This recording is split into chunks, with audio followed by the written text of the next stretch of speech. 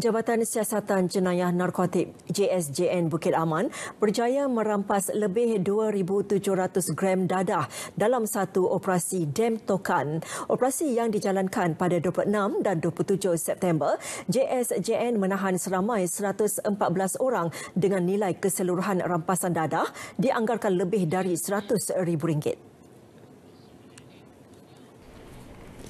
Pengarahnya Muhammad Khalil Kadir Muhammad berkata pihak polis memandang serius jenayah pengedaran dadah di negara ini kerana tidak mahu Malaysia dijadikan sebagai pusat transit dadah. Kita telah fokus kepada satu operasi yang kita namakan DAM Tokan.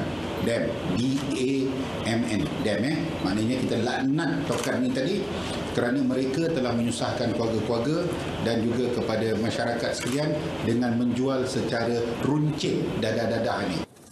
Selain itu, pihak polis juga menyita beberapa barangan lain seperti kenderaan dan wang tunai yang dianggarkan berjumlah lebih RM170,000. Pulau Pinang menjadi negeri ketiga operasi itu selepas Kelantan dan Pahang. Pihak polis juga menasihatkan orang ramai agar berhati-hati dengan mereka yang tidak dikenali untuk mengelak menjadi keldai dadah.